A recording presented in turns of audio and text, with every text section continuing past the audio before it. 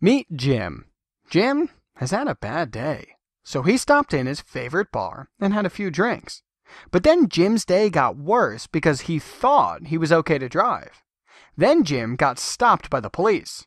He had to take a sobriety test. Then they took Jim off to jail. So now Jim had his car impounded, had to appear in front of a judge, and spent time in jail.